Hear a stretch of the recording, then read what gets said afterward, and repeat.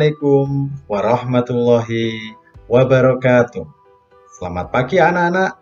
Bagaimana kabarnya hari ini? Alhamdulillah, luar biasa. Yes, tetap semangat anak-anak ya. Masih bertemu saya lagi, Pak Roni. Saya akan mengajarkan tema 7 subtematika pembelajaran 3 yaitu peristiwa meng mengisi kemerdekaan yaitu pada kelas 5 khususnya. Sudah siap anak-anak? Oke, sebelum kita mulai pelajaran, alangkah baiknya kita mulai dengan berdoa. Doa mulai. Selesai? Sudah siap anak-anak? Kamu lihat ada beberapa tokoh-tokoh yang luar biasa. Ini yang nanti kita akan membahas tentang tokoh-tokoh beliau. Nah, dalam Mengisi kemerdekaan dapat dilakukan dengan mengamalkan nilai-nilai Pancasila dalam kehidupan sehari-hari. Ingat, mengisi kemerdekaan itu dapat dilakukan dengan mengamalkan nilai-nilai Pancasila dalam kehidupan sehari-hari. Tahu ya Pancasila? Ya, kita akan bicara tentang Pancasila. Mengamalkan nilai-nilai luhur yang terkandung dalam Pancasila merupakan cara positif dalam mengisi kemerdekaan Nilai-nilai dalam Pancasila merupakan kristalisasi nilai-nilai luhur yang telah berkembang di masyarakat sejak zaman dulu. Oleh karena itulah, Pancasila menjadi pandangan hidup bangsa Indonesia dan menjadi pedoman dalam bersikap dan berperilaku di setiap warga negara Indonesia. Bagaimana sejarah lahirnya Pancasila? Ada yang sudah tahu? Iya, Peristiwa lahirnya Pancasila berasal dari bahasa sila berasal dari bahasa Sanskerta yaitu panca dan sila. Panca artinya lima dan sila artinya dasar. Jadi Pancasila berarti lima dasar atau lima asas. Istilah Pancasila telah dikenal sejak zaman Majapahit, yaitu terdapat pada kitab Negara Kertagama karangan Empu Prapanca dan kitab Sutasoma karangan Empu Tantular. Dalam kitab Sutasoma, Pancasila berarti berbatu sendi yang lima atau pelaksanaan kesusilaan yang lima.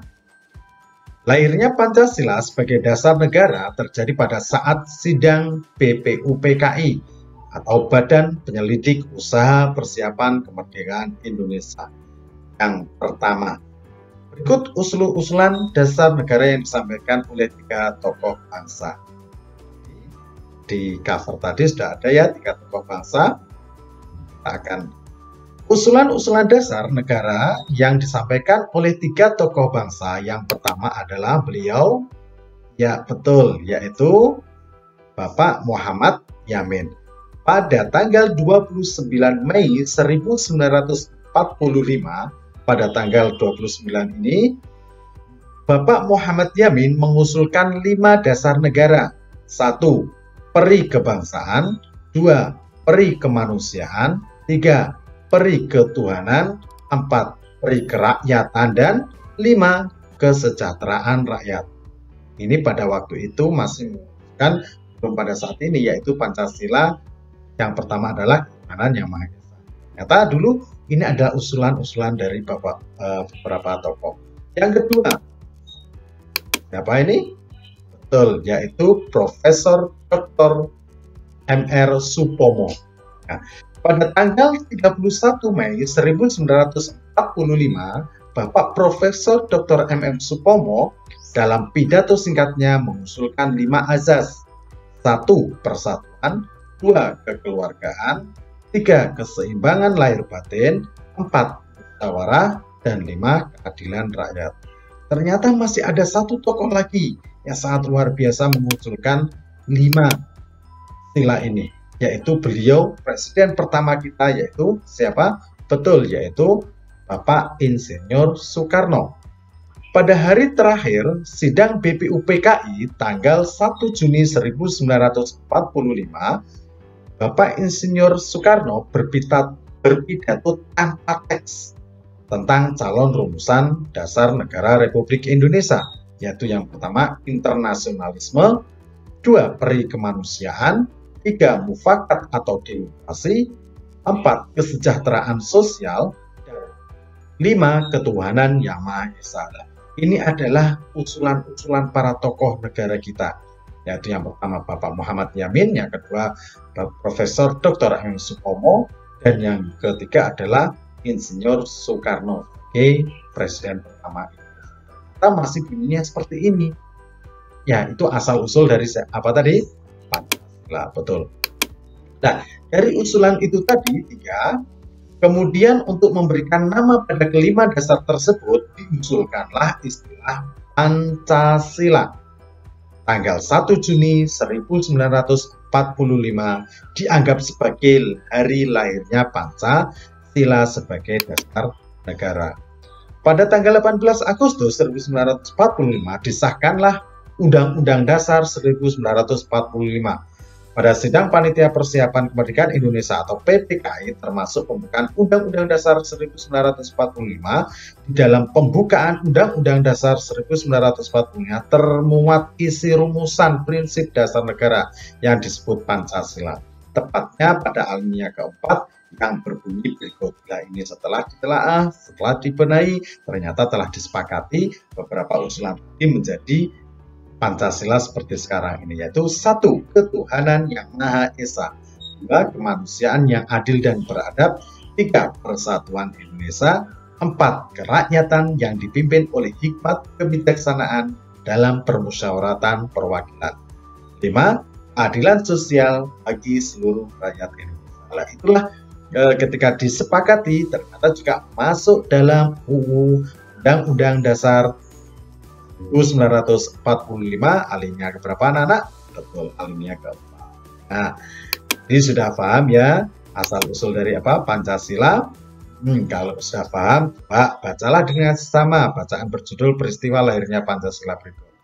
E, setelah itu jawablah pertanyaan pertanyaan berikut. Coba masih ingat kan tadi sudah saya e, jelaskan Oke, siapa saja? Siapa sajakah tokoh yang mengusulkan calon rumusan dasar negara Indonesia? Ada tadi. Siapa? Hmm, hmm, betul, yaitu Muhammad Yamin, Profesor Dr. M.R. Supomo, dan Insinyur Soekarno. Oh, ada tiga ya. Oke, yang kedua, sejak kapan istilah Pancasila dikenal? Uraikan secara singkat. Sejak kapan anak-anak? Iya, istilah Pancasila telah dikenal sejak zaman Majapahit, yaitu terdapat pada kitab Negara Kertagama dan uh, yaitu karangan Putra Panca dan kitab Sutasoma karangan Putan Tular sudah lama ternyata. Ya, oke, nomor tiga. Dari bahasa apakah istilah Pancasila? Apakah artinya? Tadi sudah kita bahas di dalam bacaan. Betul, yaitu berasal dari bahasa Sekerta, yaitu panca dan sila. Panca artinya lima, sila artinya dasar. Jadi Pancasila berarti apa? Lima dasar atau lima asas. Oke, nomor empat. Apa yang dibahas dalam sidang pertama BPUPKI? Apa yang pertama? Iya, sidang pertama yaitu membahas tentang dasar negara. Karena kita telah menyatakan apa? Merdeka. Pada waktu itu dibacakannya apa? Proklamasi. Oke, jika sudah paham isi bacaan tersebut, maka bacalah sekama lagi. Ya, coba nomor 5. Tadi uh, 1 sampai 4 kan sudah paham ya. Oke, nomor 5. Apakah isi pidato Insinyur Soekarno pada sidang pertama BPUPKI? Ya, yaitu beliau uh, tanpa teks langsung yaitu calon rumusan dasar negara Republik Indonesia yaitu satu internasionalisme dua kemanusiaan, tiga mufakat atau demokrasi, empat kesejahteraan sosial, dan lima ketuhanan yang maha esa. Kemudian dari usulan ini lahirlah nama yaitu yang diusulkan Pancasila tepat pada tanggal 1 Juni 1945 sehingga dikenal dengan apa? Ya lahirnya Pancasila. Kapan dan pada peristiwa apakah rumusan Pancasila disahkan? Betul, yaitu pada tanggal 18 Agustus 1945 pada sidang PPKI sidang ini mengesahkan Undang-Undang Dasar 1945 eh, dan pembukaan Undang-Undang Dasar 1945. Di Dalam pembukaan Undang-Undang Dasar 1945 alinea keempat, inilah termuat urusan prinsip dasar negara yang disebut dengan apa anak-anak? Betul, Pancasila. Oke, setelah tahu, coba setelah paham asal usul dari Pancasila, maka ini uh, sudah saatnya kita harus berperan, peran Pancasila dalam menjaga keberagaman bangsa. Pancasila sebagai dasar negara merupakan kepribadian dan pandangan hidup bangsa Indonesia. Maka nilai-nilai luhur yang terkandung di dalam harus dipahami dan diamalkan oleh setiap warga negara Indonesia. Apabila pada dewasa ini ilmu pengetahuan, apalagi ya pada dewasa ini ilmu pengetahuan dan teknologi berkembang dengan pesat dan membawa banyak perubahan. Perubahan-perubahan tersebut akan bisa mempengaruhi sikap dan perilaku seseorang. Dengan memahami dan mengamalkan nilai-nilai luhur Pancasila, kita memiliki dasar yang kuat sehingga akan bisa menentukan sikap dan perilaku dalam menghadapi perubahan-perubahan yang terjadi.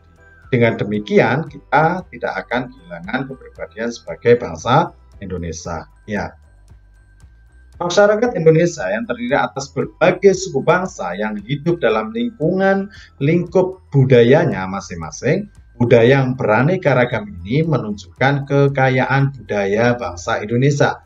Dunia makin maju dan berkembang dengan ditandai kemajuan ilmu pengetahuan dan teknologi atau biasa disebut dengan apa? Impact. Untuk itu diperlukan sikap bijaksana dan sikap yang mau dan bersedia membuka diri dan tetap waspada menerima perkembangan dunia. Hal tersebut berarti kita berani menerima pengaruh globalisasi dan perkembangan iptek tanpa harus kehilangan kepribadian sebagai bangsa Indonesia. Bagi bangsa Indonesia, Pancasila merupakan ukuran dan pedoman nilai dan untuk menyikapi pengaruh dan perkembangan iptek. Pancasila merupakan pandangan hidup yang telah menyatu di dalam kebudayaan bangsa Indonesia yaitu pertama apa tadi ketuhanan yang maha esa dan yaitu ada lima panca yang harus kita Pancasila atau lima sila, lima asas yang harus kita amalkan untuk keberagaman bangsa. Oke, nah, anak coba buat diagram ya inti dari bacaan tersebut. Peran Pancasila dalam keberagaman bangsa apa saja? Hmm, yang pertama, Pancasila sebagai dasar negara merupakan kepribadian dan pandangan hidup bangsa Indonesia. Maka nilai-nilai luhur yang terkandung di dalamnya harus dipahami dan diamalkan oleh setiap warga negara Indonesia. Kita tahu bahwa apa Pancasila itu sebagai dasar harus apa menjadi kepribadian bangsa Indonesia. Oke, yang kedua, apa coba anak-anak? Hmm, bangsa Indonesia memiliki dasar negara yang kuat sehingga akan bisa menentukan sikap dan perilaku dalam menghadapi perubahan-perubahan yang terjadi. Dengan demikian, kita tidak akan kehilangan kepribadian sebagai bangsa karena kita tahu era globalisasi ini eh, ilmu pengetahuan dan teknologi sangat luar biasa pesatnya yang semula kita tahu bahwa gampang saja kita ingin mengirim eh, kabar. Kita harus menunggu sangat lama karena menggunakan surat. Dan sekarang sudah menggunakan sangat cepat sekali. Bisa WhatsApp application atau messenger atau yang lainnya. Ini sangat luar biasa. Sehingga kita tidak bisa terpengaruh dengan mudahnya. Apabila kita benar-benar bisa iya. Yaitu kita bisa benar-benar memahami bisa mengamalkan Pancasila. Oke, yang selanjutnya yaitu yang ketiga Pancasila merupakan ukuran dan pedoman nilai dan norma untuk menerima atau menolak pengaruh globalisasi dan perkembangan iptek. Pancasila merupakan pandangan hidup yang telah menyatu dalam kebudayaan bahasa Indonesia. Itu adalah beberapa hal-hal penting di dalam teks tadi tentang peran Pancasila dalam keberagaman bangsa ini. Hmm, coba ini kamu lihat anak-anak. Yang ini adalah salah satu gambar ini nilai-nilai Pancasila sesungguhnya telah ada dalam kehidupan bangsa dan yang beragam. Uh, sebuah nilai yang menunjukkan adanya perilaku dan sikap kerukunan serta kerjasama dalam masyarakat beragam, yaitu hidup gotong royong. Ini sudah uh, kita lakukan saat ini ya, terutama di pedesaan saat ini. Dalam kehidupan masyarakat, kita sering menghadapi masalah yang menyangkut kepentingan bersama. Dengan menggunakan gambar ini, coba dan informasi yang lain, mungkin kamu punya sumber-sumber yang lain, coba pertanyaan. Apa atau manfaat gotong royong ini? Coba amati anak-anak. Iya, manfaatnya adalah mampu meringankan pekerjaan, mempererat hubungan antar warga, serta membuat lingkungan lebih tentram dan damai. Kita tahu bahwa dengan bergotong royong, eh, semua pekerjaan akan lebih ringan. Ya, yang jelas mempererat hubungan juga karena kita saling mem membantu. Oke. Yang kedua, bagaimana ciri masyarakat Indonesia ditunjukkan melalui kebiasaan gotong royong tersebut? Berarti ciri masyarakat Indonesia bagaimana? Hmm, yaitu cirinya gotong royong mencirikan sifat bangsa Indonesia yang menjunjung tinggi nilai persatuan. Ya, sila berapa? Oh, Oke, yang ketiga, nilai-nilai Pancasila nilai-nilai Pancasila apa sajakah yang nyata dalam gotong royong? Tadi sudah dibahas. Apa saja, anak-anak? Nah, yaitu gotong royong merupakan nilai dari sila Pancasila, yaitu sila ketiga, Persatuan Indonesia. Berikanlah paling sedikit tiga contoh yang menunjukkan peran Pancasila dalam ke dalam membina ke, ke, ke, keutuhan bangsa Indonesia yang memiliki keberagaman budaya. Apa saja? Ya, toleransi antar agama, gotong royong, dan bermusyawarah untuk mencapai fakat. Ini adalah beberapa contoh yang lain dan masih banyak sekali contoh-contoh dalam mengamalkan baca sila.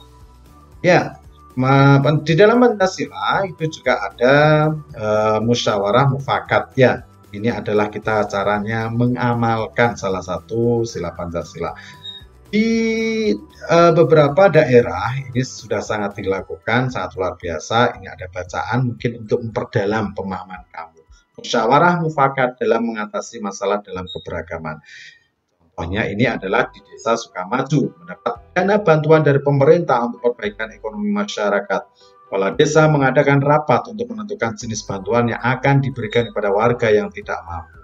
Pak Doni dan Pak Badu kira agar semua bantuan diwujudkan dalam bentuk binatang ternak, yaitu kambing dan sapi. Pak Ali mengusulkan agar bantuan diberikan sesuai dengan kemampuan dan mata pencarian warga. Misalnya, Pak Anto sebagai peternak bebek mendapatkan bantuan bebek.